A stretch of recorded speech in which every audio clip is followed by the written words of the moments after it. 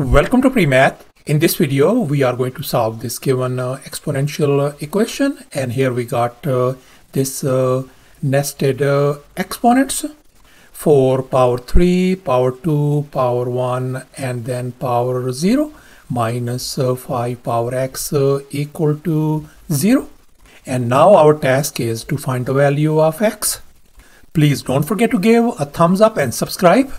Let's go ahead and get started and here's our very first step. We are going to focus on this uh, nested uh, exponent. And here I have copied it down and now we are going to find the value of this part.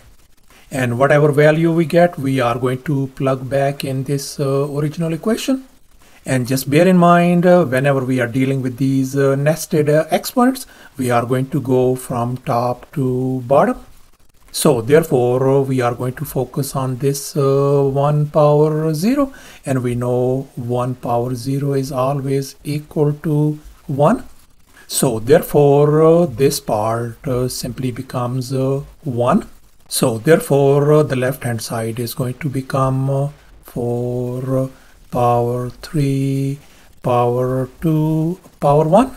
And now let's focus on this part 2 power 1 and we know 2 power 1 is same as uh, 2 so therefore uh, I'm going to replace this uh, 2 power 1 with just simply 2 so therefore this could be written as 4 power 3 and then power 2 and now let's focus on this uh, 3 power 2 and we know 3 power 2 is same as uh, 9 so therefore I'm going to replace that whole thing uh, with 9 over here.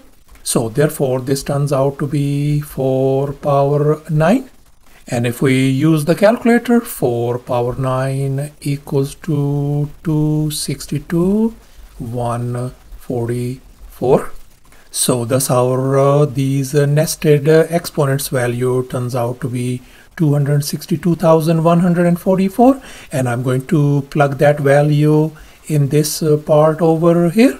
So therefore uh, this equation could be written as uh, 262,144 minus 5 power x equal to 0 and now I'm going to move uh, this uh, 5 power x uh, on the other side.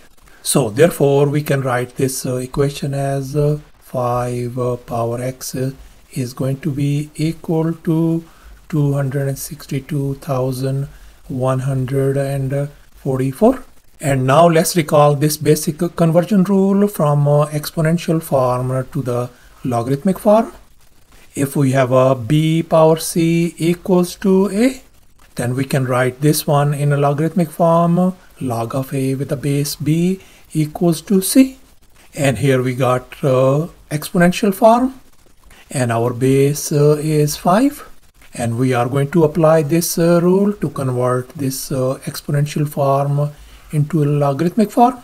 So therefore uh, we can write uh, x value is going to be equal to log with the base 5 of 262,144 and that is going to be approximately equal to 7.7522 as well.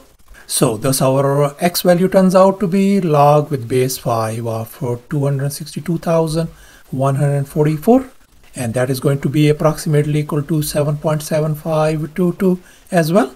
And that's our final answer. Thanks for watching and please don't forget to subscribe to my channel for more exciting videos. Bye.